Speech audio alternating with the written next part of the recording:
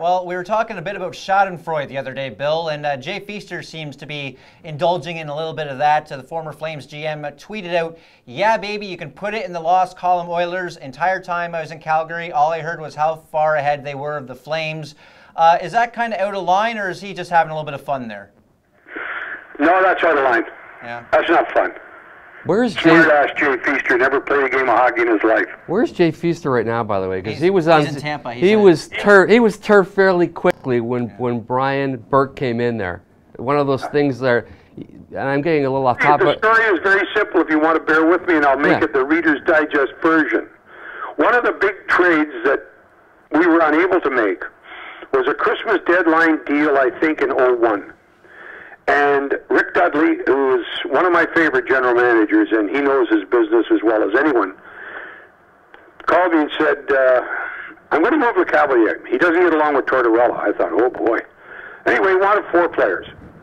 And we decided upon the four players. We kept going down the road. Nobody in Toronto knew that we were in it. They were writing San Jose Sharks, all their favorites, eh?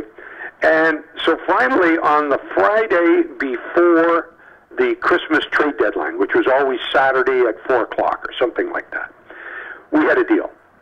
And it included uh, uh, Daniel Markov, uh, Nick Antropov, the big right winger that played with Sundin, and a first round pick.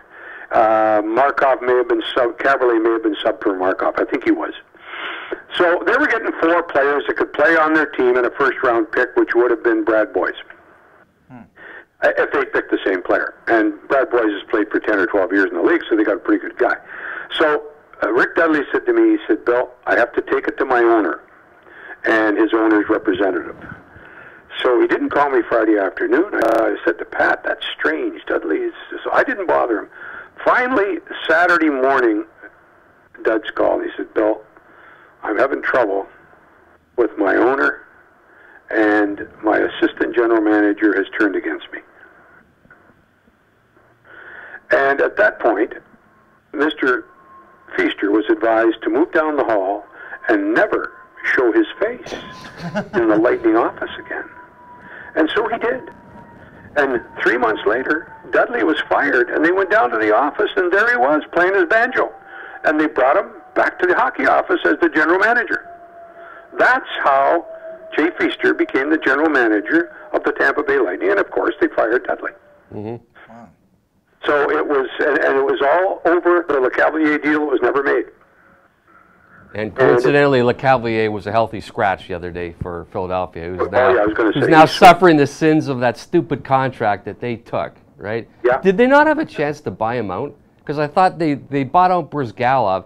Did they not have a chance to buy him out with that deal? Because he would have been. think, I think they signed him. Now, what year was he drafted? But I think he was close to a 35 year old when they sign him, so they can't buy him out. I thought this was that occasion when you, you had the, you had the two buyouts? compliance buyouts, and he would have been one of those. I think there's another player. Well, the one of- compliance buyout could have been one of those two Yeah, that would have had a chance to, to, to get bought out of two teams in two consecutive years. And um, Yeah. No, he was. You know, I was talking last night to somebody about how smart Yzerman is. I, I always considered Stevie to be a. You know, Steve Yzerman is a lot like Jean Beliveau. hmm He's a classy, distinguished, doesn't waste a lot of time talking about himself. And I thought, I wonder how good he'll be as an executive. And he, he, is, he, he has been very, very good. I mean, he's made some decisions that he's made some bad ones, but they're all entitled to that. But generally speaking, that team that he's got playing now is a team that is a legitimate challenger for the Eastern Championship and might, uh, might in its wisdom, uh, win a Stanley Cup. But all of that, uh, I say, because you, you never know with a GM uh, what he's going to be like and what background he should have. And Jay Feaster was a guy who uh, got his job in Hershey as an assistant. Uh, he was uh, no, he was uh, working there. Yeah, as the assistant GM, and um, he uh, Jacques Demers hired him in Tampa. That's how he got into Tampa. And Jay's a great guy. He's a lawyer. I, I spent a lot of time with him in the American Hockey League. But you know, to be a general manager with that kind of background is nice. But don't let on you're any brighter than anybody else. And So when he says something like that, I would have thought Jay was more intelligent than to do that. Nobody needs that, and he didn't need to say it. Uh, he had nothing to do with what has happened in Edmonton, and based on what they've done since they've gotten rid of him, he had a lot to do what, with what has happened in Calgary. And there you wonder if making a comment like that on Twitter would in any way, he's doing that without talking to the organization first. That's just his opinion, but it, in any way. Uh, but, but, but you, you, don't do that. What I'm saying is this, this, is, this will turn out to be a, a spark that will come into like a forest fire at some point because well, the owner will be writing Vinik in, or will be texting Vinik, or he'll be emailing Vinik in Tampa Bay and saying, "Who's this guy? Well, who does he think he is?" Mm-hmm. And uh, Jay should have thought of that. I, I'm, I'm amazed that he didn't. He's, he's far too bright to get himself in a hole like that. And then we're looking at it right now. Yeah, and uh, he made the comment that uh, it's my own personal views, my own personal Twitter account. I was just having fun. I tweet about all kinds of things, including the Christmas cookies that my daughter baked last night.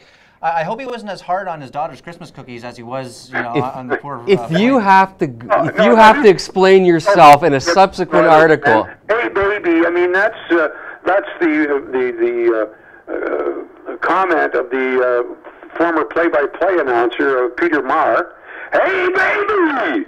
and so he insults him with that, and then uh, just he didn't need to do that, and then to juxtapose the insult at the front end with his daughter's cookies just about made me throw my cookies.